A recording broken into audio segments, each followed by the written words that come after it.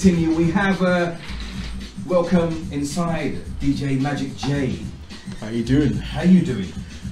I'm alright. Good, good to have you here. Um, we've just been speaking with Ty, and he's been giving us a his little background into um, how he got into the hip hop industry Mm. as a dancer originally.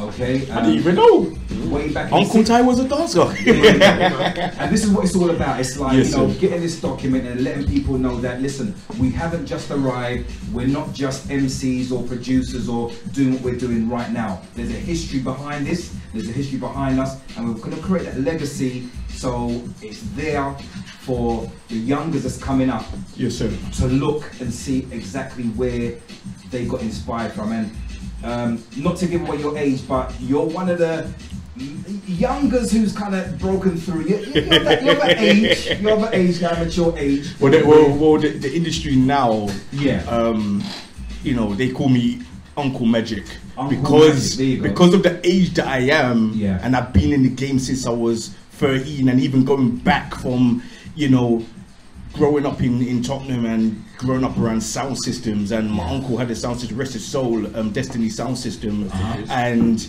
and growing up in that era and growing up going to Ferry Lane Estate and seeing the old schoolers doing the doing the uh, b boying, you know, from the you know the Demon Boyz, from the London Posse and stuff. I was always involved in that as a child, but I was that.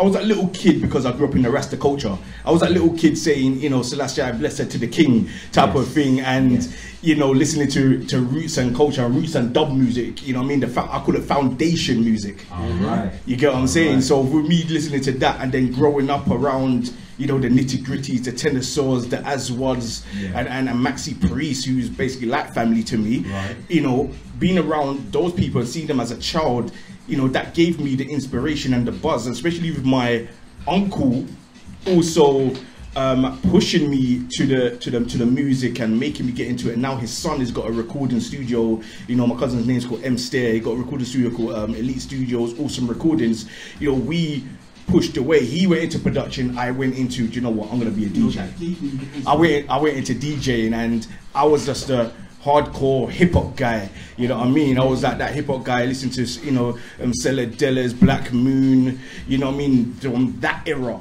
My first song that I bought hip hop wise, I think it was Tim Dog's it Profanic Wax Yeah, or something like something like that. If I remember right, something like Some- that. Something wax. Was it something? Yeah, Profanic Wax or something. Yeah, something wax. Yeah, like that was my first introduction of buying. But I actually bought um, Hi-Five record.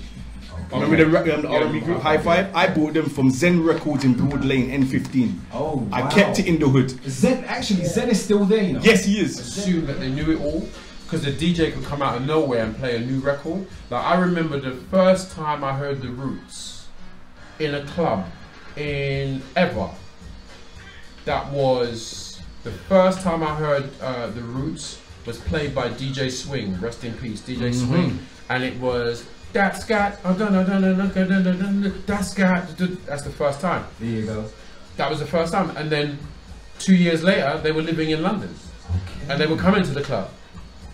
So they were, you know, they like, Roots lived here. The wow. first, the first album, the album of Do You Want More, they lived here. They were, and they were coming around. They would come to Flavor of the Month. They would come to uh, Hyde Park. They yeah. came to the park when Mark and Limit were alive. Okay. Chilled out. Yeah. did a big uh, rap cipher. You know, people was people was coming and doing certain things. Okay, so when did you kind of get into? Well, I, I want to go back into the fashion, but Yeah. when did you actually start rapping yourself? I think I started rapping privately. I started rapping from time, Yeah. but I was more I was more concerned with being in a jam and dancing. Yeah. So when I I think when I took the mantle of MC was when I started doing the Max and Dave um, um, Right. competitions, All right. and then I came second. Sorry to cut you, sir. That won was my favorite show, you know. Yeah. That was one of my favorite shows because those are the those are the days when when um, Kiss Yeah. was on Holloway High Street, right? right. I remember I went there as um, I think it was early the late primary school, early secondary school. Okay. I, I went there and I was speaking to Max and Dave, Yes. and I was so intrigued with what they was doing. Um, when it came to the radio pe- um, personality, the presenting and stuff like that, like I stuck it on them as a kid, and they was looking at me like, Mm. There was some, you know what? To this day, Max and Dave and the hard rock soul movement so important. Yeah. Like e- even their position within Kiss FM and, Yeah. and Kiss FM's importance in regards to uh, black music in the UK.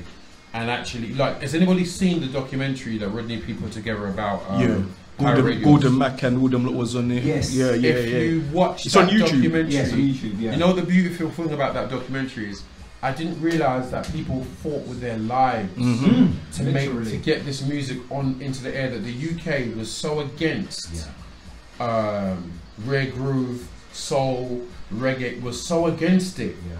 People don't know that. We just see it in the pop charts and think everything was an easy ride. Exactly that. They don't realize they don't realize that the police were hunting people down Blood, sweat, and If- tears, man. if you were pirate radios. If you know people were literally run, risking their lives to play this music. like yourselves, talking about, so that's what Ty was saying, they was risking their life. I was like on that, that 24 block tower block, looking down, thinking Yeah. that, oh, is DTI gonna come up? Is, is 100%. certain mandem from the block gonna come up? People risking their lives. Like if Yeah. you got arrested, that's a couple years. Exactly. And for music. But I was just doing it for, for the passion and the Yeah. love For for, the my culture, man. community, for the culture, Yeah. and especially because when I was that kid, I was that boy in the corner, always in my room. No one knew if I was in or out. I was in my room reading, reading if you remember the magazines, Word Up, Yep. Source mm. Magazine, Hip Hop Yeah. Connection, Rap True. Page. Right. You get me? I was, I was that kid and listening to Max and Dave's, listening to Tim Westwood back in the days, and and, and 279. 279. I saw him the other day as well, and all the real iconic guys. Oh my god. And and I was that kid that I was just soaking in everything like a sponge. And that's what you're saying about music and how this generation needs to not just understand, they need to overstand where this music is coming from. Because even give it tracking back a bit, I remember when HMV was in Wood Green. I went in there and some um, they was playing some some rare groove music, and these kids were saying, "Oh, why why is this why is HMV playing this old school rubbish?" For I went up to the kid. I said, "See this old school rubbish? What you saying is rubbish." You see the P Diddy's of the world, see the see the Jermaine Dupri, see the Timbalands, see all these producers what you're idolizing now, and you're hearing all these beats. They're the ones who are sampling these beats. Biggie Small's first album, Juicy go. and all these songs. Talk the yeah, thing. Talk the they thing. they're sampling and you are dancing to it. You get me? And that now that I am, I just turned 37 in July. Like I can look at myself and say, is, "Damn, I've been in this game for a long time. I am, a, I am an uncle to the game, but I'm still a kid." Yeah. You, you know what, as well, I think it's really important that we recognise that.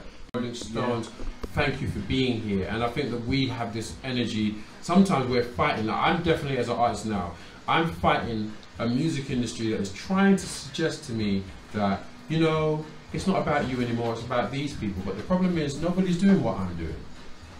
Nobody's been doing what I'm doing. So why are you telling me to leave my own house when no one else can make a house like I'm making it? Yeah. So the point I'm making is we have to change the narrative in regards to how we view ourselves with the music, right? Because when we were younger, because of the nastiness that people attached to us doing this music, Mm-hmm. we, we always considered it as a thing that you wouldn't make a career, that you wouldn't be doing for long. But the truth of it is that we all got kids that were sitting crawling along, crawling on the floor while we're mixing and playing tunes. But, but we never knew that would be the case. That's You never knew you'd have a mortgage No.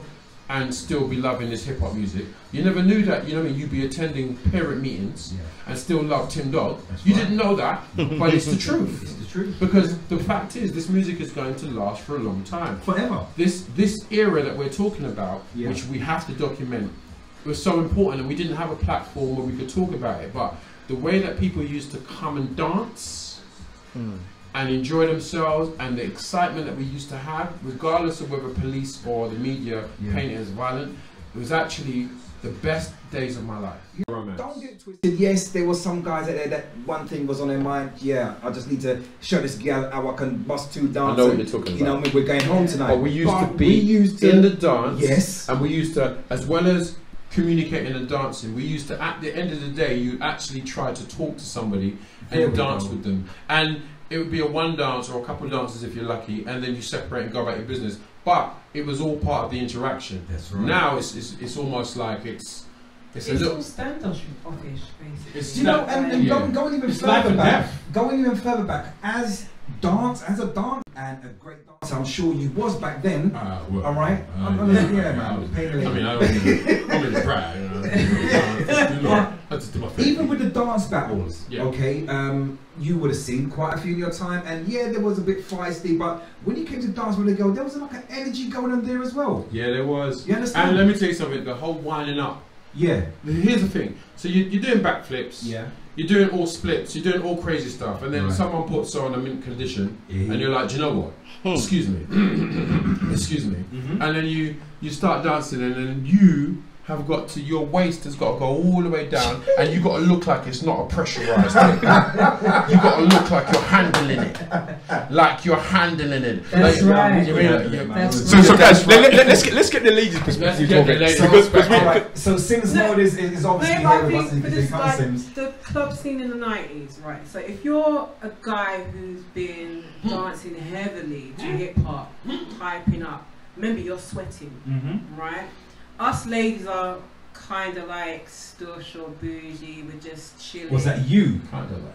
Yeah. Okay, I talk the yeah, team. right. So it's like if I'm gonna have a guy more or less drenched, sweating, coming towards me saying, "Yeah, I want, you know, can I have a dance?" Mm. I'm not gonna dance with you because I've got my nice dress on, Mhm. perfume, everything, hair done for you to come with your sweaty self towards me. I'm like, mm, Do you know? You know. When I walked in, uh, first thing I walked in and said, "Oh, it's hot in here." But I, I mentioned to her that my my stepfather said, anytime it's hot, bring your face flannel, even if it's in the dance. Even if it's in the dance, bring your face because you don't want to go to a girl and your face is coated with sweat Sweat. because the girl would just look at you and go, "Oh, it's okay." When you, you see what you just mentioned, that is Mm. an elder passing down information. This is our I had to run with it. culture. yeah.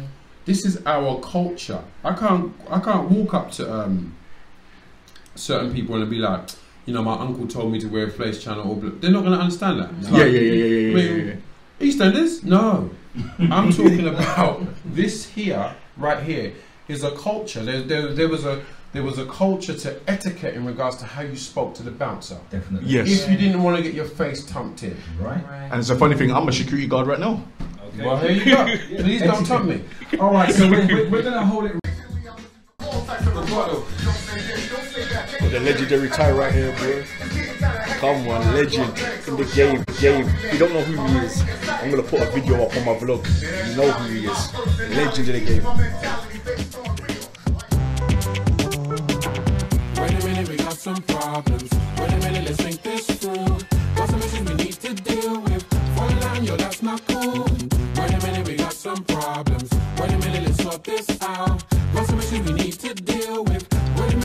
next day. Yo, what's going on, people's Magic Jay right here. You get me? I'm down here at Greenwich O2 Arena, you know, for an event called Felabration. You know what I mean? I got one of my broskies inside the building. You know, I don't know what he's doing. He's packing up things. He's preparing shit. You get what I'm saying? This guy's always on the job. Oh my gosh. You got bare Negroes coming in. I got, hey, hey, let me j- let this guy jump on my vlog. What's going on? It's your boy. you get? Come on. Ah, get me, come on. People just rolling up, rolling up, rolling up, just like that. You get me? What is this boy doing? Look at him. Oh, yo, what are you saying? Listen, it's your boy Cobra, aka Common. We're out here right now, Magic chair. Mm-hmm. Hey, O2 Indigo. Felabration. Felabration. About to kill it on stage. I don't know. Come on. Come on. Co- co- Come on, Lomo. Don't know. Trust me. break it down, break it down, break it down, break it down, break it down, break it down. Girl is. Now, when you percussion, all percussion can go down just a little bit, please. Is it? What are you saying? What are you saying? I'm excited. You excited? Bit. Give me you. Get me. bad girl friends are good for you. Get me?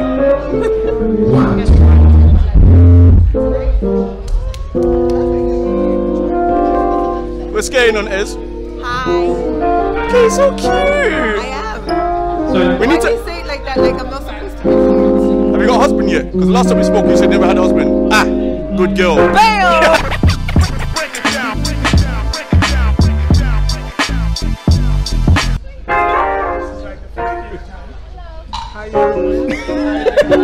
I want so that you can, when I send this back to you, you can see what your face was doing.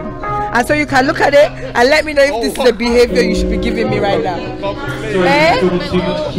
Tell me. Is it the behavior that you should be giving? I'll follow you. Because they're wearing Michael Jackson hat. Let's see. Oh, wait. I know it's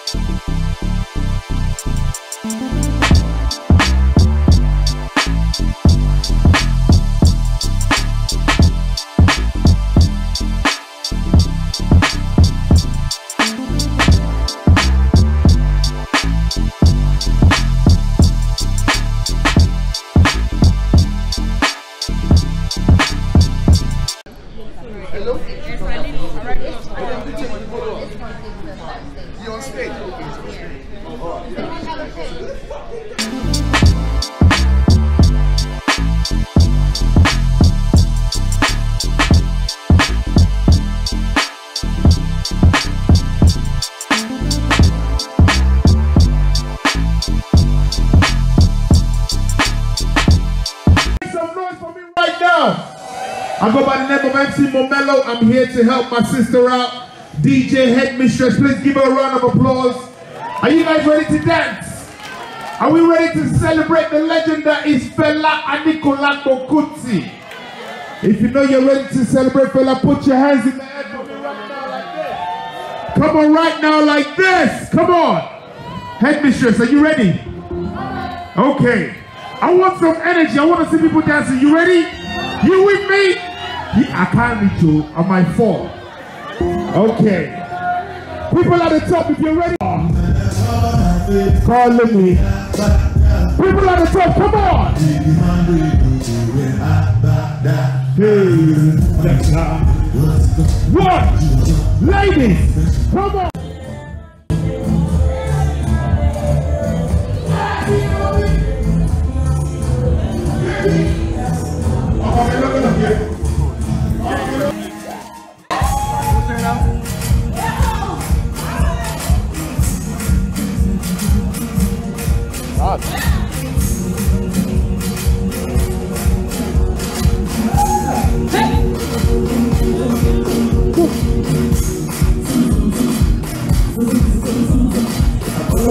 Eu nunca te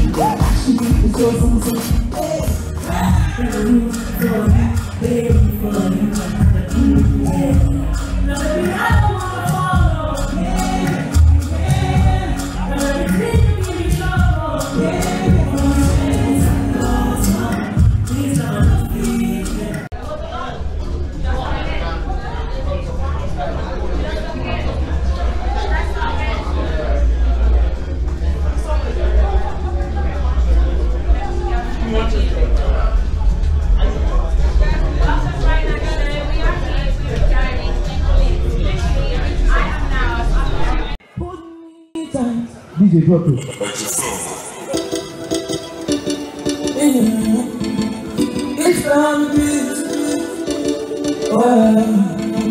Let's go.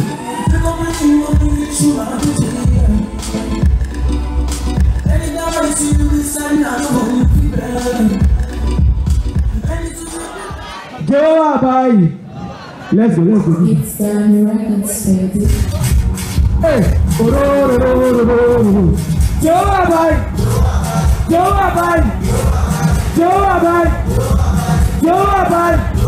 Ọmọ jọ̀wọ́ àbáyé. Kò sí ìsinmi báyìí. Ọ́nì ni. Ẹ ẹ jọ sí sí. Ó sì ti wọ́n lò ní mo gbalẹ̀. Àwọn ọmọ píkà fún màtálẹ̀. Hey, Baba Sasha always watching, always sighting, always moving, always watching, always popping, always Sasha. One, two. I can hear you. Jẹ́wọ́ àbáyé. God bless you. They are ready.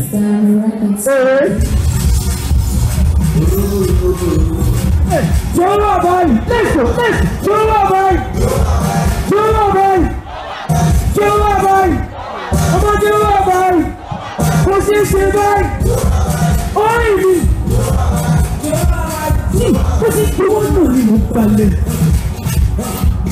Àwọn ọmọ pẹ́kà mú bàbá sase always watching always does What's going on? Alright, it's your boy. I'm hanging out with the baddest DJ in the UK.